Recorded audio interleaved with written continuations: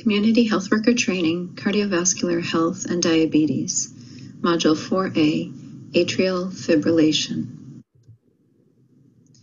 Learning Outcomes. For this mini module, explain what atrial fibrillation is. Atrial fibrillation is also called AFib. What is AFib? It's the most common type of heart arrhythmia. An arrhythmia is when the heart beats in an abnormal rhythm. During an arrhythmia, the heart can beat too fast, which is also called tachycardia, too slow, bradycardia, or with an irregular rhythm but a normal rate. Let's review how the normal heart works so we can better understand what happens with atrial fibrillation when the heart is not working properly click on this video and watch it and then come back to the PowerPoint. We'll start with the basics and examine how the human heart works. The heart is a muscle about the size of a clenched fist that is located under the rib cage in between the lungs. It is divided into a left side and a right side. Each side has two chambers. The upper chambers are called atria the lower chambers are called ventricles. Blood flows from the atria to the ventricles through one-way valves. The atria and the ventricles work together as a team to pump blood through the heart. The right atrium receives oxygen-depleted blood from the body and pushes it into the right ventricle, which pumps it out to the lungs. Oxygen-enriched blood is returned from the lungs to the left atrium, which pushes it into the left ventricle, where it is pumped back out to the body.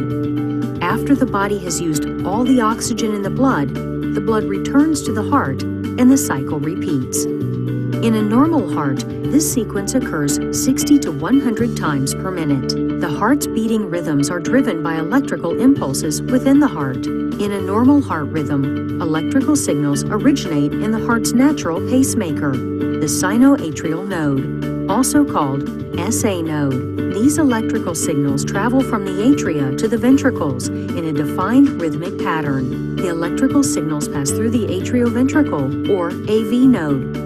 The AV node acts as a natural gatekeeper for the heart, through which all the heart's electrical signals normally pass. The electrical signals then pass through the bundle of His to the Purkinje fibers, which cause the heart muscles to contract. There are many factors that contribute to proper heart function. Talk to your physician about your heart health and steps you can take to keep your heart healthy and strong.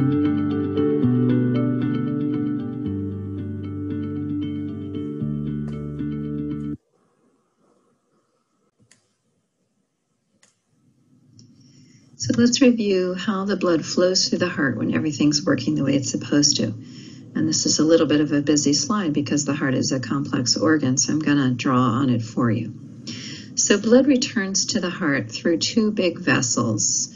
Actually, one vessel that goes in two directions called the vena cava. So here's the inferior or bottom part of it, and here's the superior or top part of it that's bringing the blood back from the top part of the body. So that blood that the oxygen has been taken out of, right, and left in the different tissue, that blood comes back to the heart to get oxygenated again. And it spills into the top portion on the right. Whenever we're saying right and left, we're talking about the patient's right and left, okay? On the top right, and that's called the right atrium. And then it goes through this valve, and don't worry too much about the names of the different valves, but understand that valves are like one-way doors, that when they're functioning properly, they close after the blood goes through so that the blood can't slip back and start going in the wrong direction. So the blood goes from the right atria into the right ventricle down here. The ventricles, which are the two bottom parts of the heart, have the strongest pumping action. And they're a little bit bigger than the atria, you can see. So the heart, when it pumps again, then pushes the blood, which hasn't gotten oxygen yet, up through the pulmonary artery. And it goes through there out to the lungs. Okay, they don't have the lungs drawn on here, but it goes out to the lungs. Okay, we'll make a lung over here where the blood gets oxygenated. Okay, so now the blood coming back from the lung comes back through the pulmonary veins on both sides, right? So on the right and the left over here. Okay. And that oxygenated blood spills into the left atria, which is the top of the heart. It's a little hard to see on this drawing, but it's up here. Okay. And then it passes from the left atria down into the left ventricle. And then with a very strong pumping action, it is pumped up into the aorta, which is a very large artery. And then from the aorta, it goes back to the rest of the body. And now it's carrying oxygen again. So to simplify, the blood comes from the body into the right atrium, down into the right ventricle, out to the lungs, back from the lungs into the left atria, then to the left ventricle, and then out to the body. So we know that this happens from the video that you just watched by kind of electrical pathways that stimulate coordinated contractions of the different parts of the heart muscle. But how does the heart maintain that normal, healthy rhythm? Um, the heart's electrical system controls the timing, right, of the blood flow through the heart because it controls the timing of the contractions of the different parts of the heart. And the electrical system keeps that heart rate regular, and it also keeps the rhythm of the heartbeat regular. A normal heart rate for an adult is 60 to 100 beats per minute.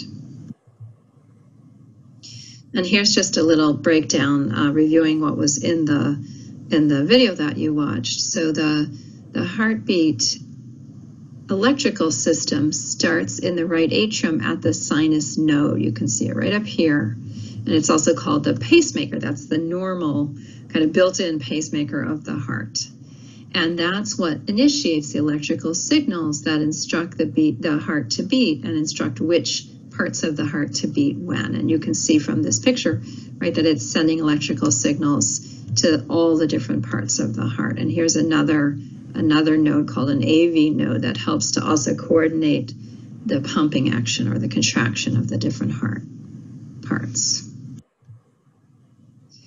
So what happens with an arrhythmia? A heart arrhythmia is when problems with the heart's electrical system causes irregular contractions of the different parts of the heart muscle and uncoordinated contractions.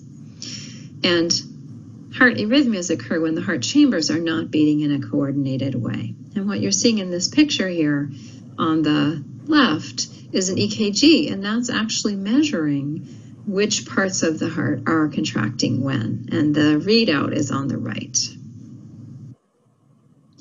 So click on this video, and it's going to show you exactly what's happening in the heart when somebody has AFib. Okay, so what's happening in particular with the electrical system of the heart, and hopefully you'll be able to then picture it better.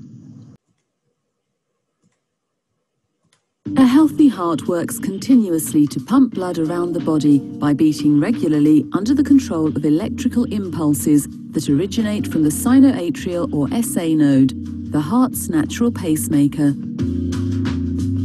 These impulses radiate from the top to the bottom of the heart in a coordinated way. Each heartbeat consists of two stages where blood enters the atria, which subsequently contract, and forces blood into the ventricles. These in turn also contract, forcing blood out of the heart into the pulmonary and systemic circulations.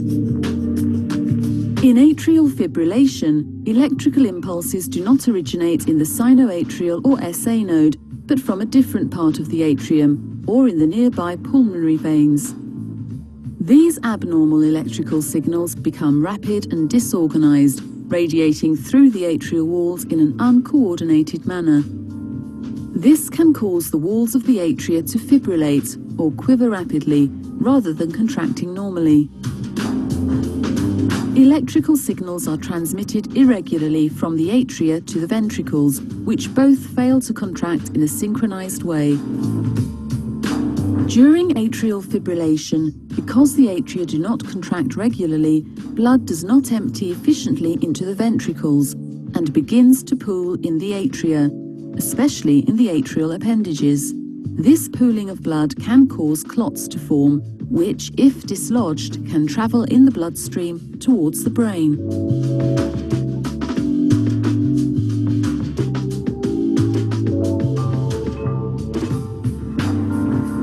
The clot, or embolus, can potentially obstruct narrow blood vessels, often the middle cerebral artery or its branches, and prevent the normal flow of blood. The reduced supply of blood and oxygen to a particular part of the brain can result in tissue death, leading to ischemic stroke.